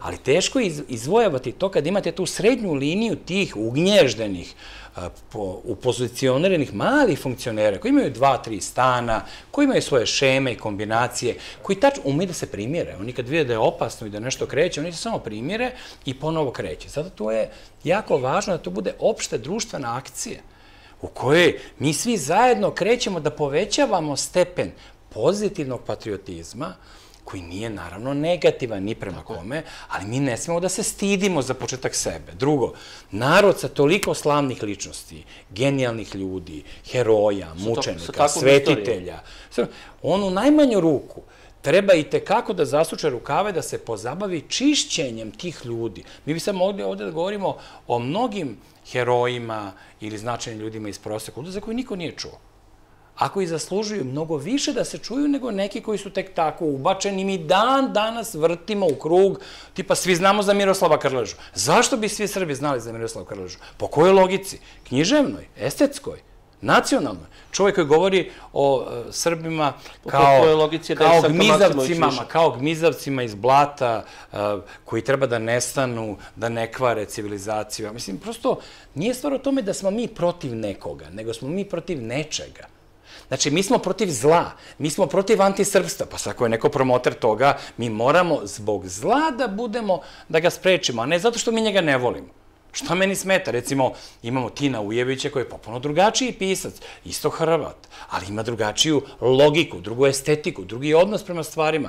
Bez obira čak što je u vreme drugog svjetskog rata, rata on radio jedan nemački, vodio nemački časopis da bi preživeo i sve. Čak i takvi ljudi koji su na neki način ušli u nešto što je nedopustivo, imaju srce koje kuca, koje nije neljudsko, nije demonsko, ne slavi ubijanje dece, ne smeje se. Znate, e, to, kakvi su učbenici u Hrvatskoj, to mi stvarno ne znamo, ali znam to da ako deca iz tih učbenika učeći izađu na ulicu, pa ih neko pita, e, znate nešto o Jasenovcu? A oni se smeju. pa ih pita ovaj, pa šta je tu smešno? Pa smešno je. Ili kažu, pa to je neko radni logor, tu su igrali odbojku, igrali Puštali su futbal, muzicirali gitaru i smeju se cinično. A znaju da su deca terana, mala deca, 5-6 godina, da gledaju sunce dok ne oslepe. I kad god obore pogled, dobiju kundak i ponov uzgled ili umiru od gladi. I jedu, jedu dole travu u kome je ubačeno staklo, srče umešano. Znači, naša dečica koje su jela staklo dok nisu umrla ili gledala u sunce dok nisu slepela, zaslužuju da se mi pozabavimo njima kao upozorenjem zbog naše dece. Zbog Milutina koga ima Branko, zbog mojih pecinova ili zbog dva. čerke ili zbog dva. Znači, ali to je, mi moramo, da, mi, mi često pomislimo da je to forma. Kao, pa dobro, u buduće toga neće biti, pa mi samo kažemo da se spreče. Ne, može da bude. Pa kad gledate kako su izgledale novine, recimo u aprilu 41. pred bombardovanjem, to ne da ne osjećate da će rad biti. Vi čitate o vašarima, vestima, o tome šta se zbilo, ne znam, u nekom mestu, futbalu. To odjednom dođe pakao, sam, poništi, uništi, organizuje logore, kreće otvoren lov na ljude. Vi, vi verujete da u Evropu primaju, u Evropsku uniju primaju narod koji je imao državu koja se nije odrekao, na osnovu koje je napravio novu državu, koja je imala rasne zakone, zvanične rasne zakone u kojima je dete koje je bilo Rom, Jevren ili, ili Srbin, moralo da drhti pred učiteljicom, ne sme da izađe na ulicu jer na putu do škole može nešto mu se desi, kao što i 90-ih moglo da mu se desi, kao što i danas može da mu se desi. Kada je Zadarska noć kristalna krenula i kad su oni krenuli da od kuće do kuće, od vrtića do vrtića, od radnje do radnje, uništavaju sve što je srpsko. Oni su uništavali onima koji su bili pro-hrvatski i pro-jugoslovenski. Oni su uništavali onima koji su bili sportske zvezde u Zadru, iako Srbi, u hrvatskom sportu. Ali bez obzira, oni su krenuli sistemski uništeni. Mi moramo da se odbranimo. A da bi se odbranili, moramo da nađemo metode. Nije lako u ministarstvu prevrnuti stvar na opačke i išistiti, postaviti u bilo kom vremenskom periodu.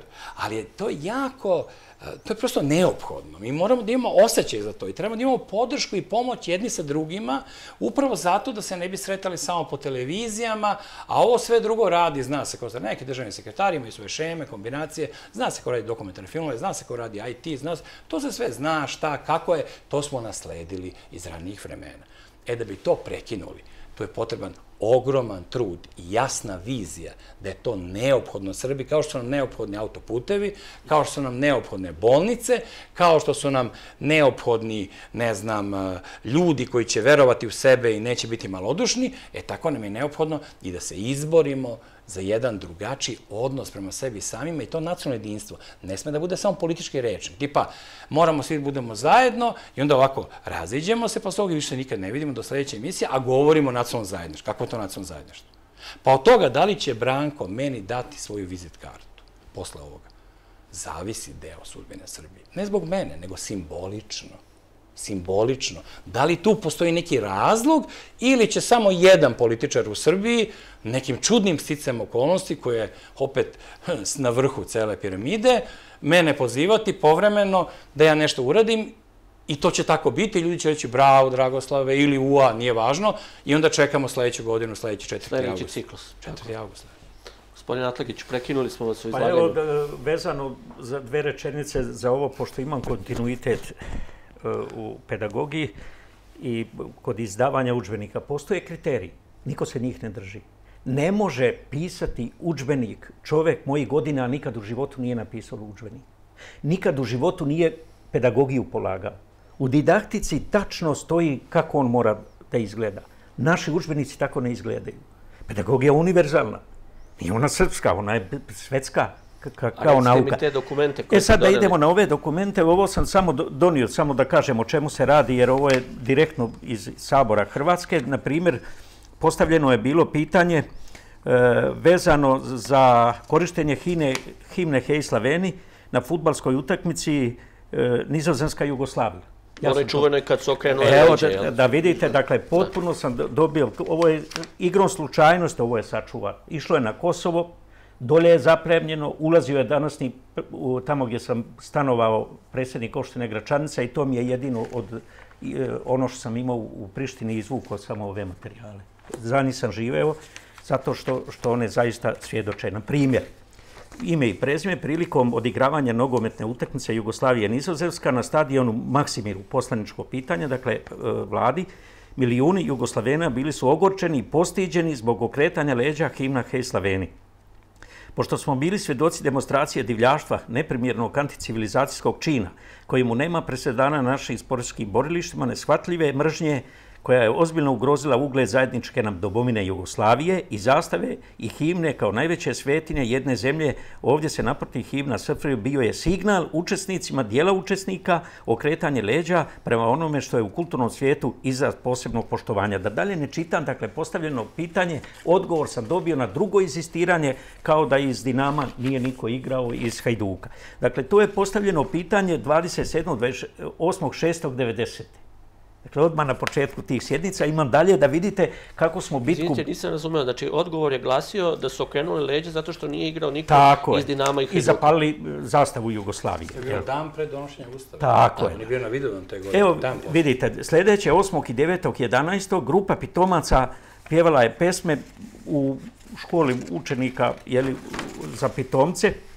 To je postavljeno pitanje, kaže, ovaj, da li je tačno, bilo je više pitanja, da li je tačno, kaže, citiram, da je poveća grupa pitomaca u školi unutrašnjih poslova u Zagrebu pjevala pesme, citiram, mene moja savjetovala strina svim Srbima, kaže, materina neću izgovoriti, mi Hrvati ne pijemo vina, nego krvi Srbina iz Kina. Hrvatska, Hrvatska je Kroacija naša, ti si zemlja svih e, pravih ustaša i tako dalje. Nikad nisam dobio da dalje vam ne čitao obrazloženje i tako dalje. Da vidite kakva se bitka bila u tom saboru, nas malo što nas bilo. Dalje pitanje Sulimancu koji je potpredsjednik e, bio, vezano za e, ovaj Jadovno. Tražio je da se zabetonira Jadovno. Potpredsjednik Hrvatskog sabora. Hrvatskog sabora, evo vidite, pečetirano, sve sam dobio od Znači, tada. traže da se skroz betonira. Tako je, da, ne- da, da više. vam to ne čitam. 8. i 9. 11. kaže pitanje za otpuštanje s posla 21 radnika Ministarstva obrane Republike Hrvatske, 19 Srba, jedan Hrvat i jedan Crnogorac. I Perica Jurić dolažio, naložio im direktno, kaže, ostavite ključeve napolje. Sve su Srbe očistili već tada iz tog dijela. Dakle, i tu nisam dobio odgovor. 25. A Želim da vas e, ovaj, e, pitam, e, što meni onako lično znači. Bili ste pretpostavljeni svedok ovaj, Slobodana Miloševića u Hagu. Šta vas je konkretno, pošto je Slobodan Milošević sam sebe branio, to je poznato, šta vas je konkretno Milošević pitao i šta ste svedočili njemu u slučaju Oluje? Pa ima to objavljeno. Mislim da, da, da, e, SPS objavio je e, sve ove, socijalistička partija objavila ove transkripte sve. A pitao je prvo pitanje ono vezano za njegovu optužnicu, da li je on bilo vođa udruženog zločinačkog poduhvata. Moje prvo pitanje zapravo odgovor na njegovo pitanje, da, gospodine predsjedniče, postao je udruženi zločinački poduhvat, ali niste vi na čelu bili tog poduhvata, doktor Frane Tuđman. Onda upita ko je još, ja sam onda obrazlagao Žarko, Dumljan i tako dalje, da ne pričam u tom dijelu. Moje svjedočenje je bilo da je udruženi zločinački poduhvat bio od strane hrvatskih vlasti, za istrebljenje Srba, za čišćenje, dakle za genocid onaj. Sad ću vam vezano to samo da još vam kažem, kažem e, za, u vezi sa postavljanje venca na Jasenovac, zabrana. Ako se sjećate, bilo je zabranjeno polaganje venca, ja sam i to pitao i opisao neviđeni i vodio di- polemiku sa predsjednikom Sabora. Dalje, 28. i 29. u vezi sa nastupom najvećih funkcionera ono na prvoj konstitutivoj sjednici i tako dalje. Da vam dalje ne govorim ve- vezano ovaj, za to u tom dijelu. Dakle, kad je Oluja u pitanju, čak i Hrvat, Žarko Puhovski, koji je jedan od najvećih filozofa hrvatskih, kaže ovako, ja ću njega citirati, sada to ne kaže. Ali je to govorio nazad 5 i 10 godina, imam datume kad je govorio. Oluja je bila ne sam, etničko čišćenje, ne samo na nivou ljudi, na nivou nauke, na nivou umetnosti, nego na nivou toponomastike i onomastike. Mislim da je to jedna od, zaista s tim je rekao o čemu se radi, zapravo o genocidu. Kada ga prekjuče slušam, on malo je promenio sada, A možda objasnite to gledalcima koji ne razumeju tu rečenicu. pa u stvari to je etničko čišćenje svega. Dakle, sela, gradova, imovine, imena, imena, toponima, imena, sela i vlastitih imena, vlastitih imena, imena mjesta i tako dalje, tako da su sve promijenili u tom stvari. Zapravo, to je u stvari suština genocida. On je s tim rekao da je izvršen genocid s kojim sam ja sarađivao 90. godina i, na, ajde da kažem, onda skupove išao koji se korektno držao, ali promenio sada malo mišljenje, pošto je uhvatilo maka sada u Hrvatskoj. Jer Hrvatska država sada nema nikakve razlike od NDH. Zaista nikakve. Evo ja ću sada zbog gledalca zaista da kažem, pošto se o tome radi. Dakle, i jedna i druga izbacile su srpski narod iz ustava, je li tako? I jedna i druga zabranili su upotrebu ćirilice, je li tačno? I jedna i druga zabranili su upotrebe eh, jezika. Hrvati su stvorili svoj jezik pa nisu više voz govorili ili vlak nego munjovoz. A onda kondukteru munjovozni i kartoru po bušći. Ja sam rekao u saboru jednom, vi Hrvati govorite vozu, vozu munjovoz ili govorite jutroklik, pjetlu. Ali mi Srbi imamo svoj jezik i, i ovaj, govorit ćemo narodu, naroda, ne pučanstvo, mi ćemo svojim jezikom govoriti. Dakle, i, i jedne i druge su to radile. Je li tačno da su monetu istu uzeli kunu i NDH i ovaj drugi? I ova Tuđmanova takozvana demokratska. Jer su jedne i druge intelektualce hapsili i istjerivali? Jesu. Jesu jedne i druge logore za Srbe organizovali? Jesu. Jedino... e, Bilo je i palenja srpskih knjiga, jedni i drugi. srpskih knjiga je bilo to Ante Ležaja Hrvat koji je časan jednu knjigu napisao knjigocid. On je baš upozoravao, ja sam na jednom poslaničkom pitanju i u diskusiji, diskusiju nisam tražio još, e, upozorio i on je na strani 28 upozo- napisao da sam upozoravao hrvatsku vladu već tada da 87, već 90. 91. godine, početka 87 spomenika antifašističkih podignuti antifašizmu, jeli, samo u Dalmaciji je bilo uništeno. A da ne govorimo knjige koje su spaljene. Dakle, čak je i jedan uh, hrvatska vlada financirala uh, projekat za uništavanje knjiga na Čirilici ili o srpskim srpskim književnicima, pjesnicima i tako dalje. Dakle, vidite, ovaj, ne samo da su ono po čemu je nadmašila NDH Tuđmana ovo 90. jeste etničko čišćenje. Totalno uklonjene 600.000 Srba je totalno otišlo iz, Hrvatske, iz hrvatskih gradova. Šta se desilo? Vidite, 20 i nešto hiljada već 90. je otišlo. I kad mi govorimo o 250.000, ne 750.000, ja računam i one Jugoslovene gdje je Tuđman rekao ima 7% Jugoslovena, Srbi su to. Imam datum kad je to izgovorio. Da ne kažem, ili još i druge stvari i tako dalje. Dakle, kad sve to vidite, onda zaista da vidite ista simbolika. Dakle, on nije htio u gore staviti onu kocku, ali je stavio zato veliku Hrvatsku i on je tražio da se stavi polumjesec šesterokrosko zvezdo, to je i Lirik, kaže, a i Lirik je Tocius Kroacijus, čitava Hrvatska, a centar je Banja Luka. To je Riter govorio i zato je išao na Banja Luku Tuđman i on je njih vratio iz Sabora na prvoj jednoj sjednici, kaže, jer ima nešto što obuhvaća Bosnu i Sloveniju, nema, napolje, kaže, dođite mi sa simbolom. I to je taj simbol i danas e, važeći grb Hrvatske jeste veliko ovaj, simbolizuje veliku hrvatsku ideju. I oni se ne odriču toga.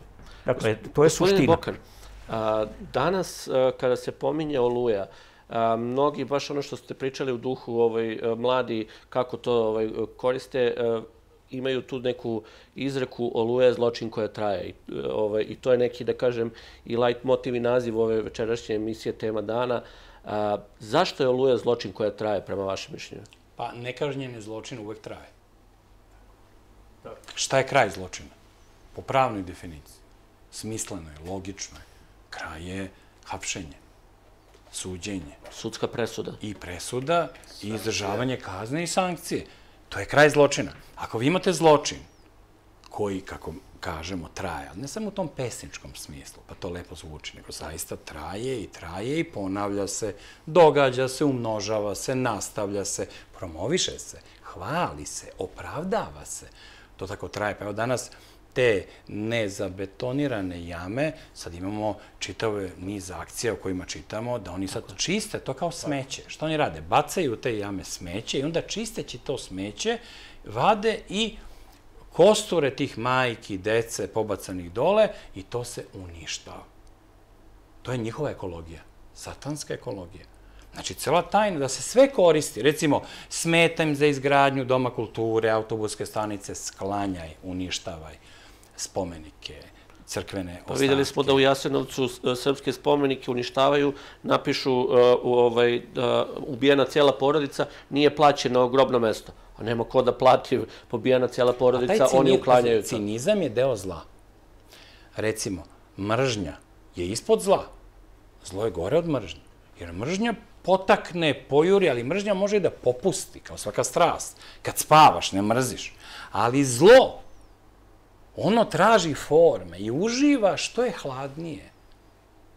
To je opasnije i više uživaju u njemu oni koji sprovode. Pa, birokrata više uživa kad ti kaže zakasnili ste, tako mi je žao, što, dva minuta, ili niste doneli... Ili fali vam još jedan papir. Fali jedan papir, ali toliko mi je žao, evo da ste doneli, mi bi to rešili. Znači, to zlo. Pa Gogolj kad govori o zlu i veliki ruski pisci, oni često baš o zlu govore o tome, o tom hladnom zlu koji primenjuju naši protivnici i neprijatelji, čas vruće zlo, mržnja, batinanje, šipke, pretnje, bacanje automobila u, ne znam, u more, pisanje po automobilu po ludačkih poruka, to je vruće zlo, a imate i ovo ledeno, cinično, hladno zlo, tu snežnu kraljicu koja je negde lebdi među njima, u kojima se govori o tome da je u Jasanovcu se svirale gitare i menjale knjige i čak ima jedna jeziva rečenica u jednoj od tih knjiga, da ima Srba koji su pušteni i nisu hteli da odu iz Jasenovca, jer su bolji uslovi bili u Jasenovcu nego u tim opustošenim selima, pa su oni ostajali dobrovoljno u Jasenovcu. I još strašnija, da je Ja su deca napadala da je Jastrebarsko, ne nego da je Jastrebarsko humano. Zašto? Da su Srbi ostavljali svoju decu. Nije bilo hrane, oni su ih ostavljali, a onda su Hrvati u tim crnim uniformama tu decu spašavali tako što su ih dovodili u logore za decu. I logore za decu, nešto najstrašnije, što ni nacisti nisu imali i što je vrlo teško objasniti ljudskim jezikom drugom čoveku.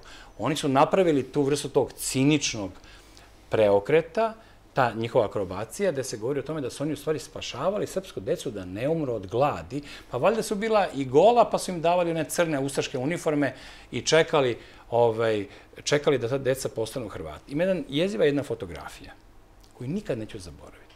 Na toj fotografiji je gomila te naše kozaračke dece u crnim uniformama sa onom ludačkom kapom i slovom, i slovom U.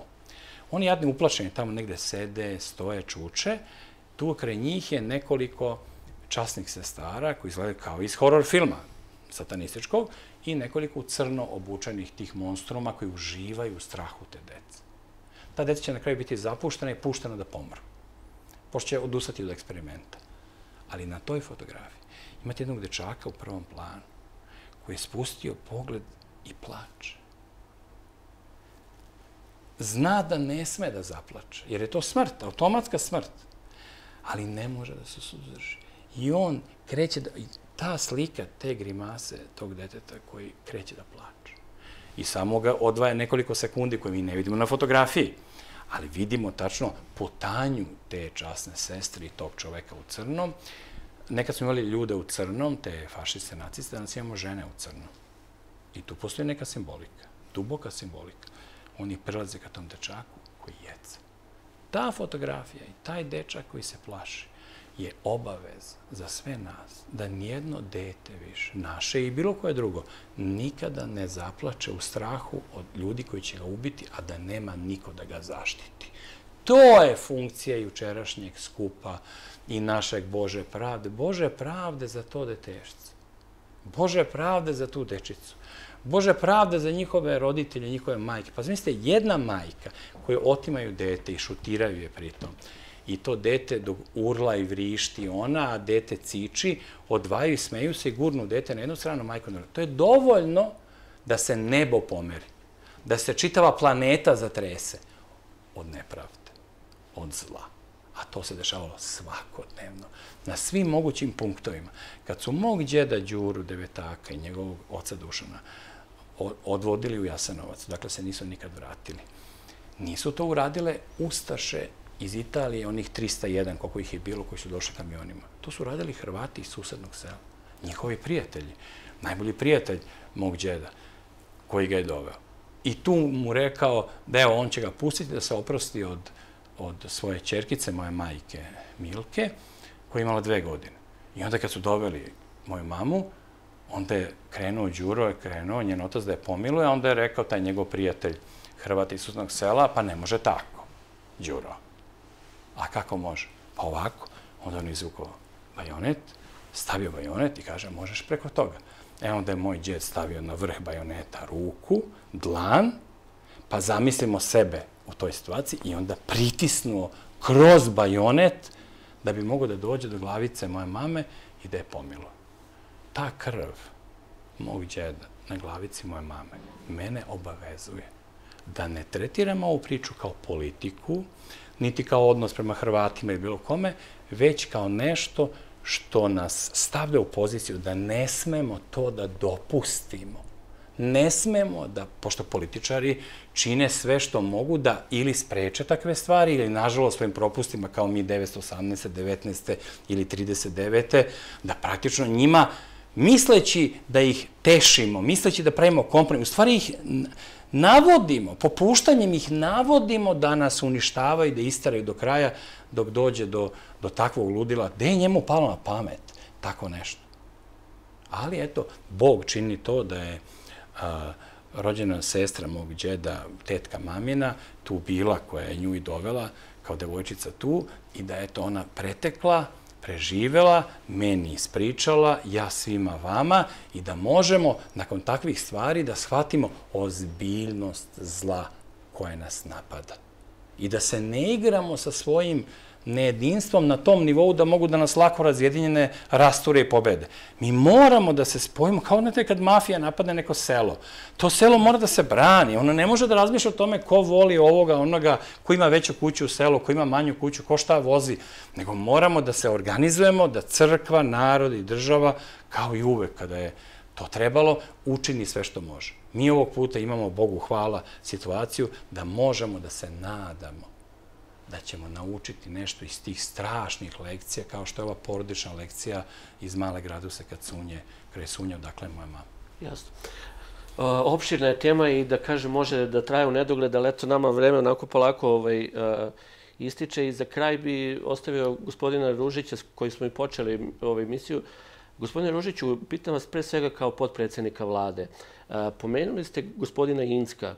On je, gle čuda, na dan kada je Austro-Ugarska uputila ultimatum Srbiji ovaj, pred Prvi svetski rat, izrekao tu rečenicu i odmah na, znači, potpisao taj zakon gde se ne sme više ovaj, reći da Srbi ovaj, nisu genocidni naroda, nije izvršen genocid, inače ćete završiti u zatvoru. Izrekao je za medije jednu rečenicu koja opet može da se poveže sa nekim, a to je ja sam svoj posao završio.